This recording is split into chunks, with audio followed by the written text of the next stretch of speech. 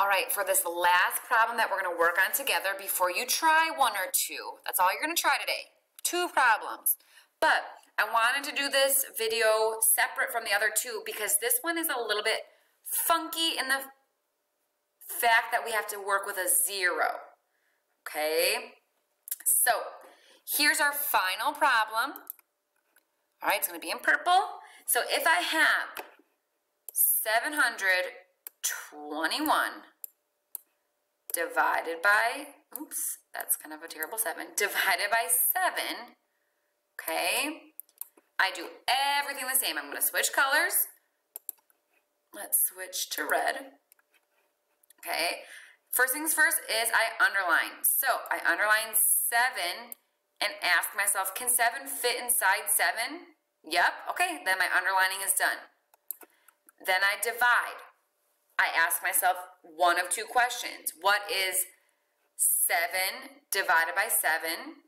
Or, if I don't know that, I can ask myself, how many times can 7 go into 7? Well, I know 7 divided by 7 is 1. So I put that 1 above my house, right above my underlined number.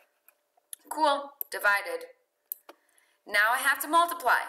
I multiply whatever I just laid down on top of my house, my 1, times my divisor. 1 times 7, easy, 7. You might be thinking, Mrs. DeGracie, this one doesn't seem as so bad. This one's easy. It is easy, but I'm going to show you in a second where it might get a little tricky. Okay, I multiply. Then I subtract. Again, easy. Subtract. 7 minus 7 is 0. Easy. Bring down. Well, I ended with a 0, so am I done? No. I got to bring down.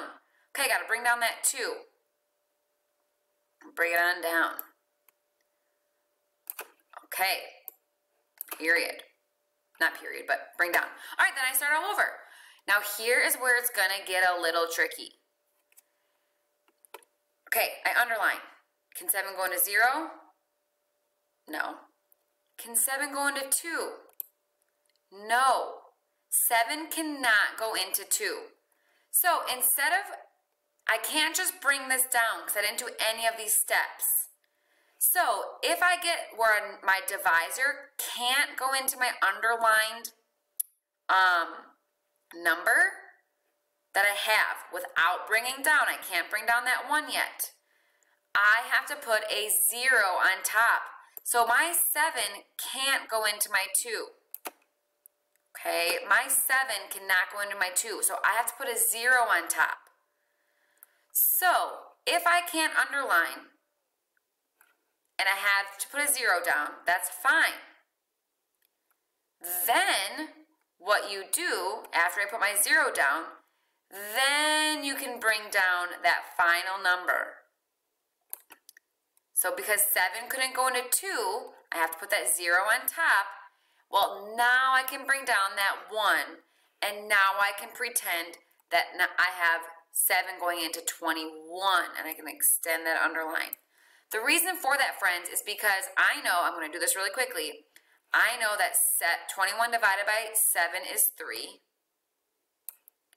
Divide, underline. I know 3 times 7 is 21. Got to subtract. 0. Love when I end in a 0. And I have nothing to bring down. Love it. I'm done. Friends, if I wouldn't have put that 0 in, I would have thought that 7 goes into 100 or 721 only 13 times.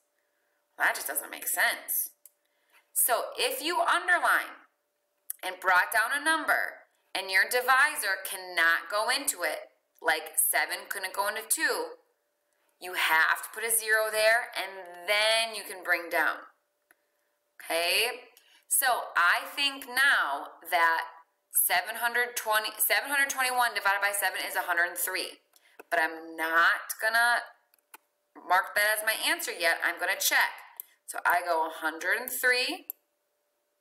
times 7, my quotient times my divisor, and if that gives me my dividend, 721, I know I'm correct. All right, 7 times 3 is 21. Bring, carry the 2, bring down the 1. 7 times 0 is 0, plus 2 is 2. And 7 times 1 is 7. Ooh, 721. So the next, on the next slide, you're going to have two problems.